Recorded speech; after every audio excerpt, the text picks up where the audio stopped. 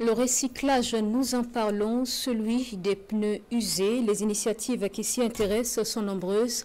Nous avons rencontré des jeunes qui sont lancés dans la pratique et usent d'une ingéniosité particulière pour redonner vie aux pneus mis hors d'usage. Les œuvres dans ce reportage de Alassane Tchendrbego et de Tanga Kafando. Du beau, de l'art, à partir de la récupération. Aux abords du terrain de l'hippodrome à Ouagadougou, ces œuvres attirent l'attention des passants. Des sièges, des tables et des pots de fleurs, des formes et de l'utilité sous lesquelles les pneus usés reprennent une seconde vie. Shérif Ahmed Ouamourou est dans la récupération depuis 5 ans. Une passion qui constitue un prolongement de son ancien métier, la peinture bâtiment. J'ai commencé d'abord par la peinture bâtiment.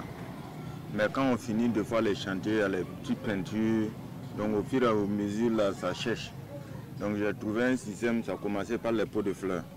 Voilà, donc quand ça restait, je prenais, je faisais les pots de fleurs petit à petit. Bon, un jour, j'ai commencé à faire table sans la chaise d'abord.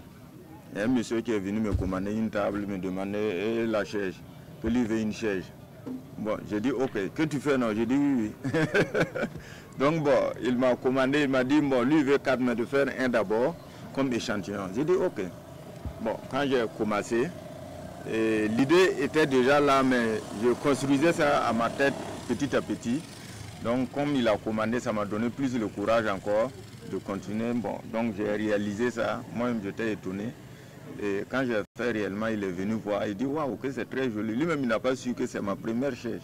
Les clients de shérif viennent de partout. Des clients séduits par l'ingéniosité de l'artisan. Tout, tout le monde paye, je peux dire. Par exemple, il y a eu l'ambassade d'Autriche qui est venue par rapport pour venir voir les courses là. Ils sont passés, ils ont vu les chaises, c'était joli, ils ont payé.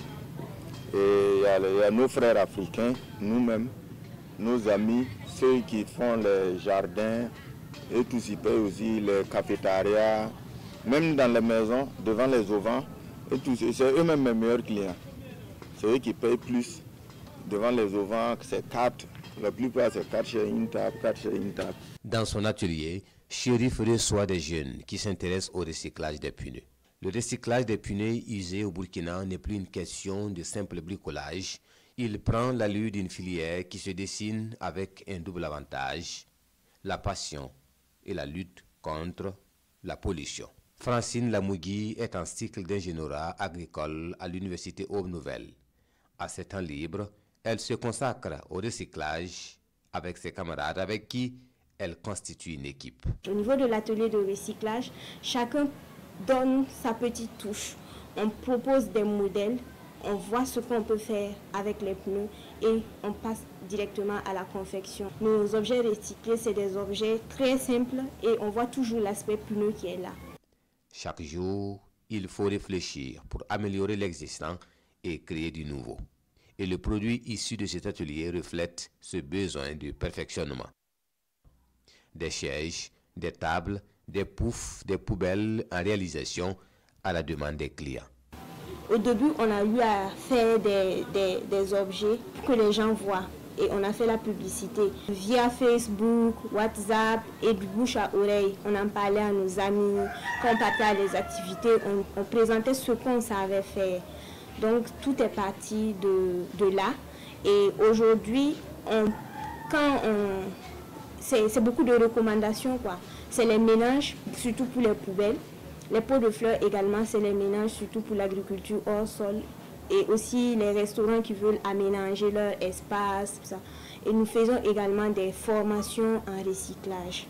Un peu partout au Burkina, les pneus usés regagnent les domiciles sous d'autres formes après un séjour dans les dépotoirs et les poubelles. Ils sont présents dans les jardins, dans les restaurants et autres lieux où la récupération répond aux besoins. Les acteurs assurent les pneus éligibles au recyclage sont d'abord lavés et ne font plus l'objet d'encombrement pour éviter que le recyclage ne rime pas avec repollution.